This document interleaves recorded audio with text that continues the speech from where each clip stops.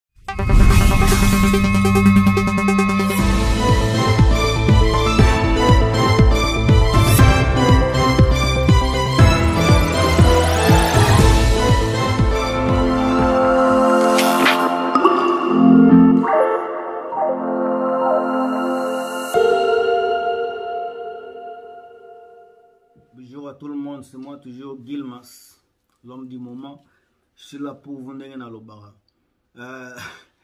merci na tous ceux qui m'ont soutenu dira tous bata oyo ya makasi nazalaki na yango turbulence ya baexamen lelo nakomi libre nasilisi en tout cas examen elekaki kitoko nazwi nazwi mpenza nazwi na bapourcentage ya likolo gloire à dieu eza faute force na ngai te mais en tout cas force na bino bato botyaki ngai na bapriere mais en tout cas merci beaucoup lelo na, na toit na biso toza na sere na biso peniel samba oyo deja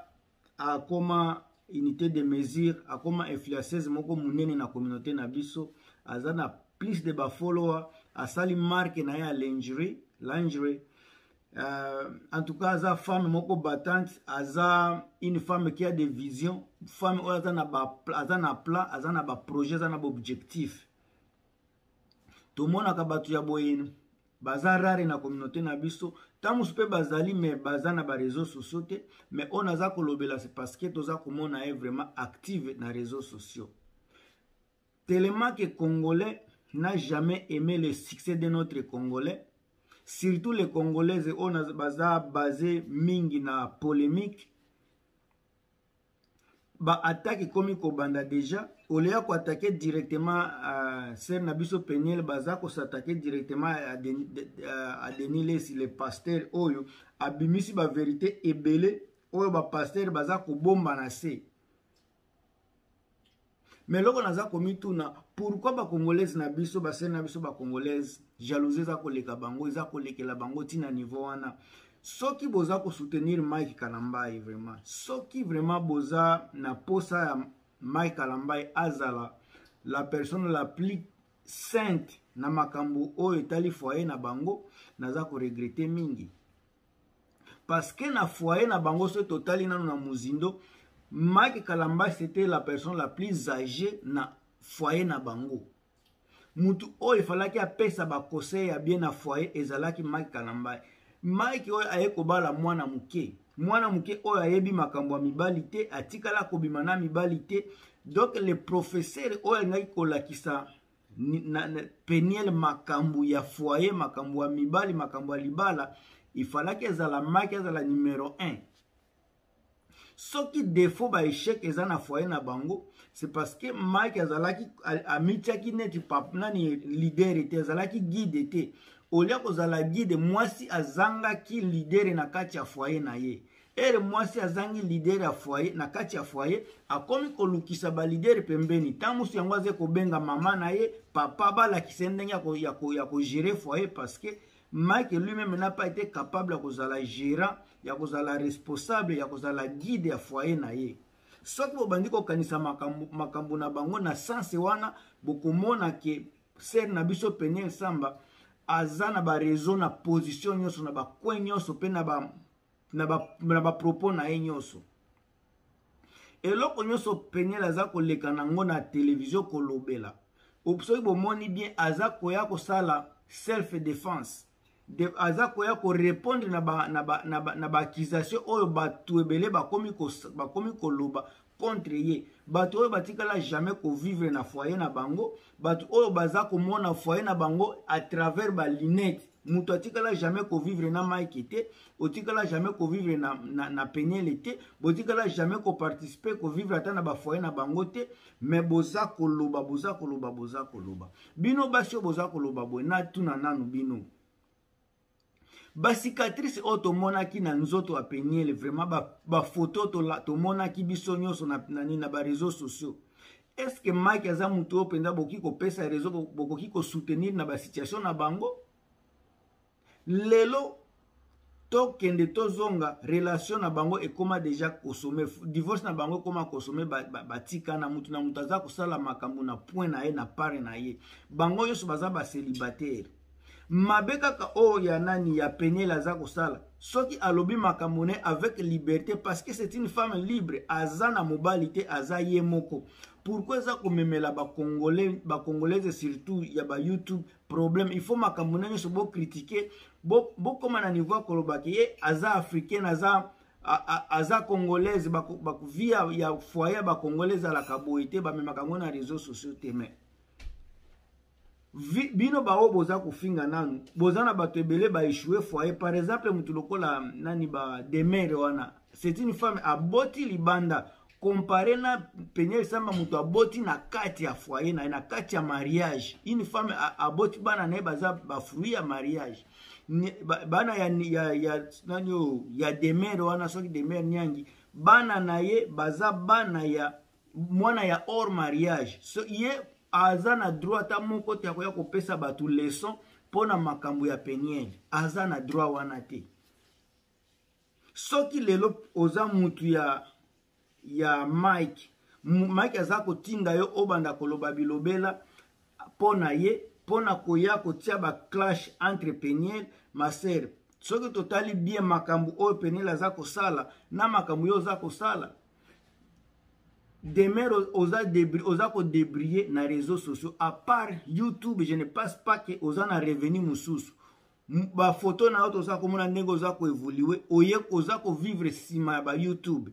mais peniel samba oyo aza kovivre nsima ya youtube te c'est une femme influenceuse aza capable ya kosala baappel defaut bambongo eza koya c'est une femme qui a des visions c'est une femme qui a des projets c'est une, une femme qui a une ligne de marque ya, ya bilamba na ye moko une fille la openel boza komona alors soki moto aza na action oyo aza kosala ya bien je pense ata na esika nani mike kalambay aza na miniti oyo aza kosepela aza komona ke mwana mwasi oyo mwasi na ye akala aza capable ya kose prendre ya charge bien ke mike aza abimi, abimi na ye nani un homme faible un homme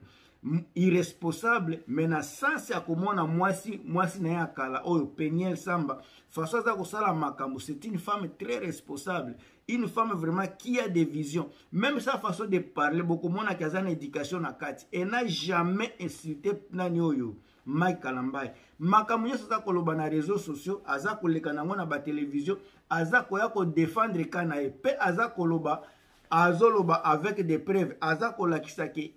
tout ce qu'elle est en train de dire ela eza verité olie bino boya koleka na bilobela parce que aza koleka ye moko atikala jamais kotinda mutu mike kalambai soki amoni ete makambo nyonso oyo penele aza koloba eza, eza faux ye aya kodementir yango na televizio parce que penele azoleka na, azoleka na makambo yango na televizio aleki mpe na bareseau sociaux aza kolobela yango soki mike ayebi ke makambo oyo penel aza koloba eza ya faux eza lokuta nde aleka deja na réseau sociaux kose défendre soki aleki na réseau sociaux te c'est parce que ayebi ke azalaki irresponsable na kati ya foyer na ye azalaki irresponsable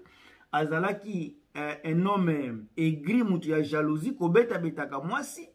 azalaki capable te ya koasire responsabilité ya mobali na kati ya foyer azalaki irresponsable ya kozala guide ya kozala protecteur na kati ya foyer yango toze komona aze kobetabetaka mwasi ozomona bamakambo ya kolobela yango wana kolakisa ete mwana mwasi oyo aza na pare na ye ya, ko, ya, ya droit ya kose defendre contre baviolence oyo azali kosubir na kati ya ndako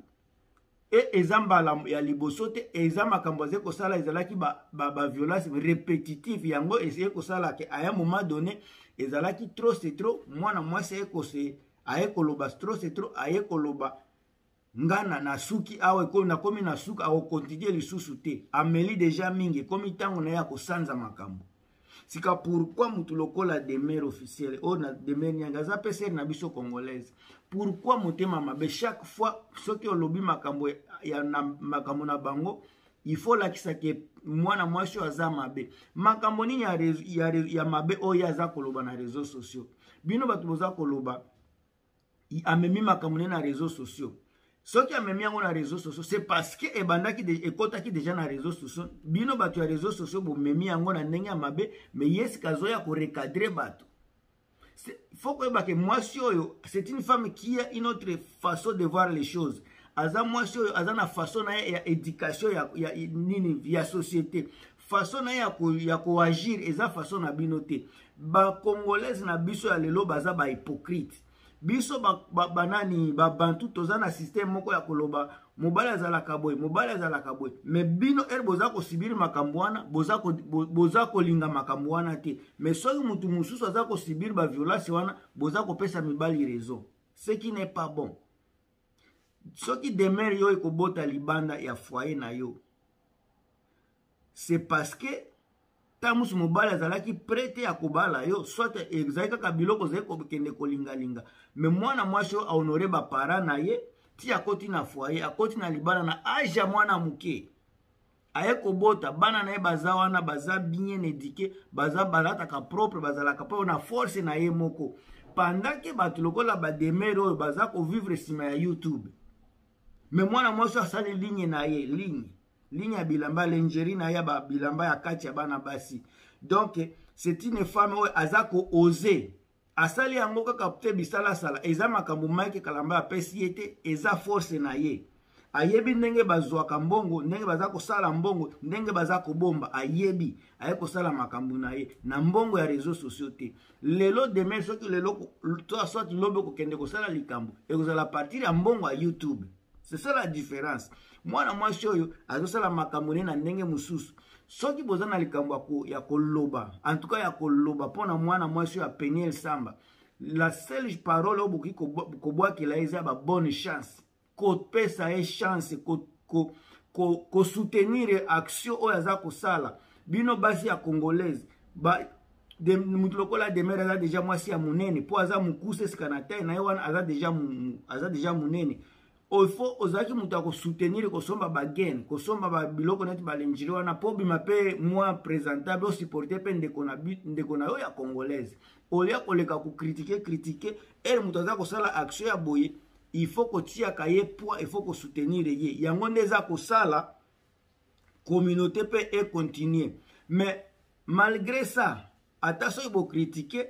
aza na bato baza kosomba ye moko maneke ya makambo na ye bolinga bolinga te bokritike bokritike ye te mwana mwasi wana aza koevolue bolobela ye mabe aza na bato oyo ya important baza kolobela ye bien bolobela ye bosala makambo nyonso boza kolinga ya mabe me ye aza deja na bato oyo baza kolobela ye bien c'est ça qui est important et c'est ça qui est ye il fallait mpenza akangama na likambo oyo aza ya, ya positif ba, na baoyo sika nanu boyoki makambo oyo bademere baza kosala contre ye soutien kaka ya, ya, ya, ya paster denis lesi aver mwana na ye e aza kobenga ye mwana na ye bato ebele bakomi kolinga yango te baza koloba bilobela ya mingi mwana mwasi ye moto aye koloba ye aza, aza neti papa na ye me pourkui bino bolingi kokomisa yango polemike aza papa ye alobi papa na ye denis lesi mpe aza koleka azoloba mwana na ngai sika bino boza bolingi komema yango na position nini bolingi komema yango wapi olie botala ata eloko moko ya positif oyo balingi kosala bozomema makambo kaka na banégatif yango tozokende epai te yango tozoevolue te kaka biso monoko toza koloba tozokende epai te bobanda kotala makambo oza koloba ba eza komemela bino mpe bamal chance d'une part ou d'une autre yango bobanda kokanisa ava koloba likambo botournaka balange na bino parceke bamal chance ekoya kozwa bino ya kokanga bino bokoprendre te soki eyeli wapi ebimeli wapi mpe kosukela wapi nga na souhaite toujours sere na biso bonne chance na makambo aza kosala bonne chance na entreprenariat wana soki toza na bato oyo deja toza na bango toza kosignale bango bakende mpe nini kosombaka aligne parce que eza biloko aligne basombaka aligne mpo na kosoutenir ndeko na biso congolaise parce que ebandeli ezalaka fo ezalaka ezalaka ezalaka blagi te ezalaka na makasi yango na ebandeli soki botie ye poids un jour soki akomi bien akotia bato soki mibale misato basala mpo na ye eza déjà un aki na communauté na biso congolaise en tout cas oyo akoloba nalobi mabe etali ye mais mpo na ngai toujours mpo na kosoutenir une femme congolaise une femme moderne naza toujours wana bolinga bolinga te eza na bo baza kofinga nga bamessage boza kotala kuna bato baza kofinga nga yuma moko boye zoba moko boye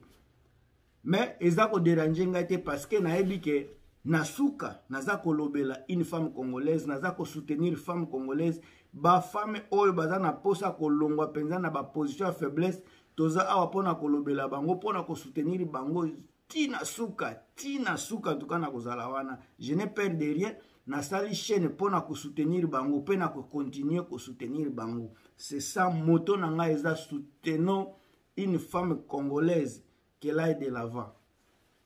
je suis là pour vous la prochaine eza koya toujours bavideo bokosome bokosome bopartage bokolemba te bolemba te bozala toujours wana parce que makambo eza kochange tozokende kaka na ndenge ya kogere na ndenge ya kosoutenir na ndenge ya koprotege la femme congolaise a plus